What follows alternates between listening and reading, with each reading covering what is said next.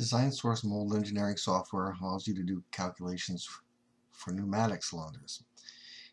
The pneumatic cylinder calculations are located under the fluid section. Fluids include gases and liquids. And the calculations are listed in alphabetical order based on the first word of the phrase.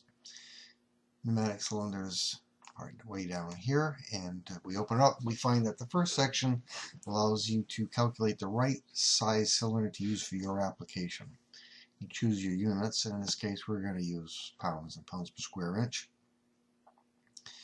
Shot pressure is typically around 90 pounds and we're going to for this example assume that you want to generate or move an object or create a force of 200, p, uh, 200 pounds. When you hit calculate, it tells you that you need approximately a 2 and 3 eighths inch diameter cylinder. Now, what it's done here is actually size the cylinder that will provide 400 pounds of force. And the reason for that is to keep the uh, cylinder moving freely. If you size it too close to the limit of of the of the pressure or, or, force that it needs to generate, then the cylinder can hesitate and move slowly. If you size it substantially larger than what is needed, then you also can lose speed of the cylinder because you have to wait for the air to move and build up pressure. So that's the theory behind that portion.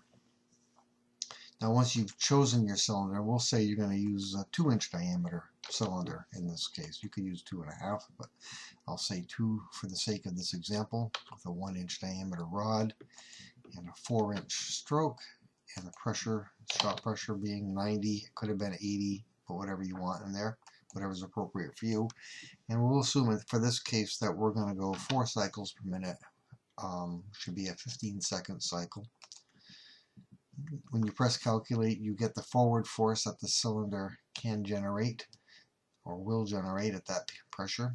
The return force, assuming there's no you know weight on the rod at the at the point where it's going backwards, it could uh, retract with a 212 pound force. It's always less on the return side because you don't have the area of the rod for the air pressure to act on. It also tells you how many standard cubic feet of air per minute you will need to operate that cylinder. Like most of the sections in DZynSource Mold Engineering software, you have the option of sending this to your default printer, clearing to uh, start over again, or you can go back to the main menu if you want to do another calculation in the fluid section, or you can go back to the main menu.